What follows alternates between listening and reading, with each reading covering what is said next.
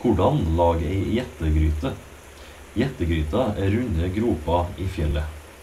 Gamle historier og sagaer forteller at det var Jotunen som hadde laga sånne gryter i fjellet til matlaging. Andre historier forteller om trollkjerringa som hadde bora hull i fjellet for å lage en eliksir som ga mot og styrke. For å lage ei gjettegryte trenger du berg, rennende vann og stein. Mye vann som kan sette steiner i virvlende bevegelser rundt og rundt. Is og smeltevann kan presse store steiner ned i berget, nesten som en kombinert pressbor og miksmaster. Mange store gjettegryter ble danna på slutten av siste istid, da det kom mengder med smeltevann fra isbrea.